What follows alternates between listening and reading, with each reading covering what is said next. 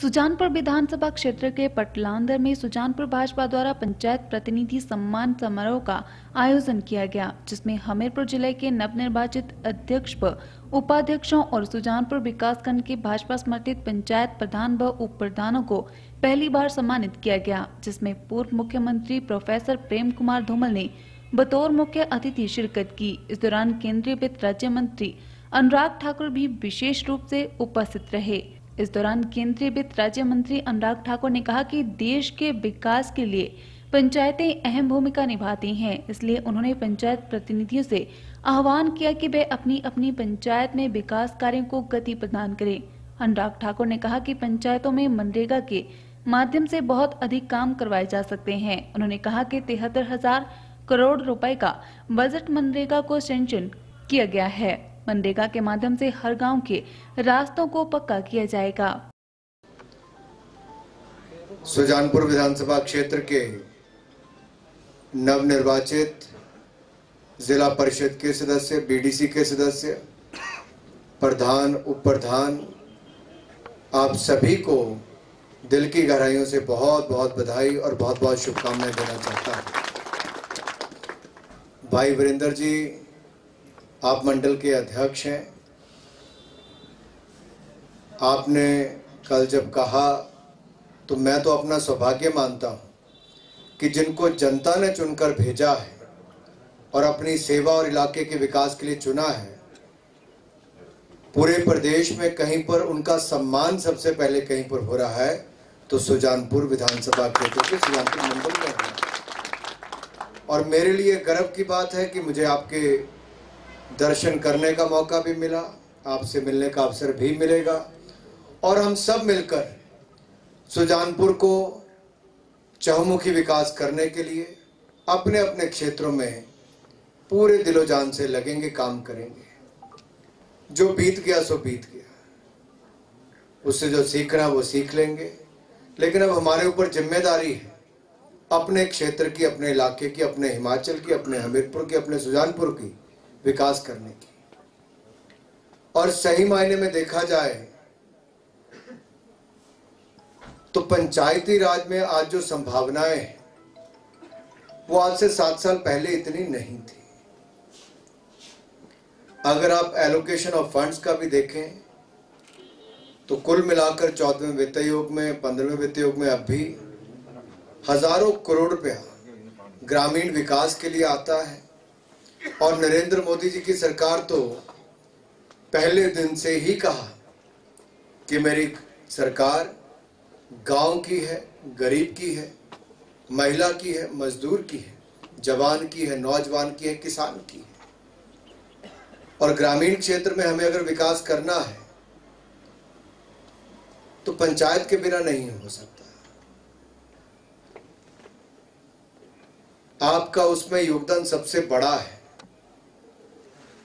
और मेरा अनुरोध आपसे रहेगा। और मैं वीरेंद्र जी आपसे अनुरोध भी करूँगा। हम प्रयास करेंगे कि जिला स्तर पर या फिर मंडल स्तर पर हो सके तो वहाँ पर भी एक बड़ा प्रशिक्षण शिविर भी लगाएँगे कि कैसे योजनाएँ केंद्र की किस किस हेड में पैसा आता है, आप लोग कैसे उस स्कीम को बना सकते हैं, कैसे लागू कर सकते हैं आपको किसी के ऊपर निर्भर रहने की आवश्यकता नहीं है। आपको इन योजनाओं को भी अगर आप मंजूर करवाकर अपने इलाके में लाएँगे तो अगले पाँच वर्षों में एक एक प्रधान भी अपने अपने क्षेत्र में कम से कम दस दस करोड़ रुपए का काम करवा पाएगा। अधिकतर बार ये देखा जाता है कि जानकारी के अभाव में हम बहुत सारी योजनाओं का लाभ नहीं उठा पाते। और कई बार प्रशिक्षण शिविर तीसरे साल में चलकर देना शुरू करते हैं जब बचता ही टाइम कम है।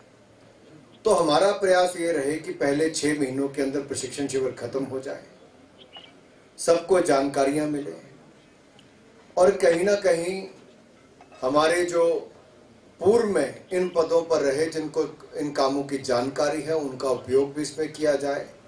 लोगों को जानकारी देने के लिए, क्योंकि जो विधायक का पैसा आएगा, सांसद का आएगा, प्रदेश सरकार का आएगा, वो और उसके अलावा केंद्र और प्रदेश की जो बाकी योजनाएँ हैं, वो भी खर्चा होगा तो आपकी पंचायतों में ही खर्चा होगा। तो ज़िम्मेदारी आपके ऊपर बहुत बड़ी है।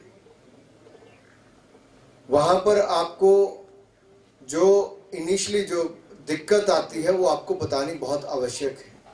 कई बार टेक्निकल स्टाफ नहीं होता, कई बार मंजूरी नहीं हो पाती। कई बार पैसा ज़्यादा होता, हम उसको खर्च ही नहीं कर पाते। अगर मैं कहूँ कि एक तरफ़ से कांग्रेस कहती थी कि मनरेगा हमला है, लेकिन सच्चाई तो यह है कि उनकी सरकार के समय ज़्यादा से ज़्यादा खर्च भी हुआ तो तीस हज़ार करोड़ रुपया खर्च होता था। और वो भी पूरा जनता के पास नहीं जाता था। उस समय नीचे के स्तर पर उस पैसे को बड़े सिस्टमेटिकली लूटने का काम किया जाता था और रिपोर्ट्स में। लेकिन जब से नरेंद्र मोदी जी की सरकार आई, हमने जो सत्तर सालों में नहीं हुआ था वो करके दिया, तरतालीस करोड़ से ज़्यादा लोगों के बैंक खाते खुलवाए, आधार कार्ड दिया, दुनिया में सबसे सस्ता मोबाइल का डेटा यानी कि इंटरनेट की सुविधा आपको दी। और जो कभी कांग्रेस के जमाने में केंद्र से पैसा आता था, लेकिन गरीब के खाते में नहीं आता था, सिस्टम ही उसको खा जाता था। आप देखिए, मोदी जी ने वो करके दिखाया जो दुनिया के बड़े बड़े देश नहीं कर पाए। इस आपदा के समय अमेरिका जैसे देश भी अपनी जनता के खाते में पैसा नहीं डाल पाई। नरेंद्र मोदी जी ने एक बटन दबाया 20 करोड़ महिलाओं के खाते में इकतीस हज़ार करोड़ रुपया आपदा के समय पंद्रह पंद्रह सौ रुपए एक बहन को मिला। है वहीं इस मौके पर पूर्व मुख्यमंत्री प्रोफेसर प्रेम कुमार धूमल ने पंचायत प्रतिनिधियों को कहा कि जन सेवा बिना किसी भेदभाव के करनी चाहिए।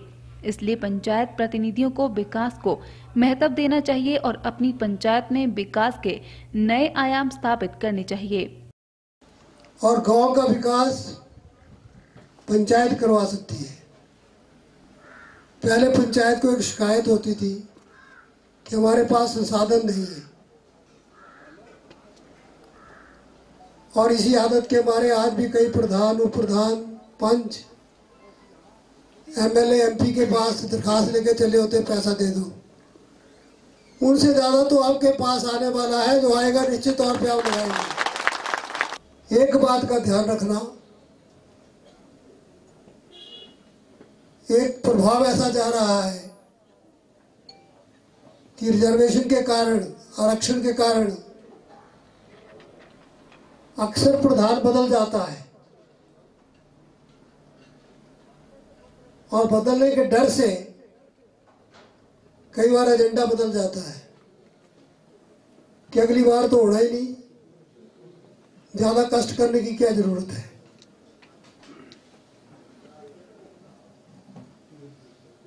मैं कहूँगा, जितना भी समय मिले,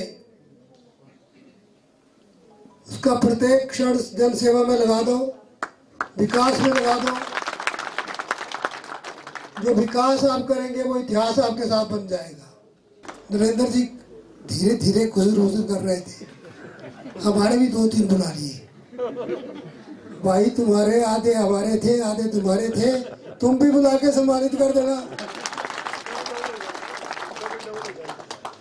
हाँ इसीलिए चाहे हमारे सबको बुला लेना, हम दो दिन की बात नहीं करते करो सम्मानित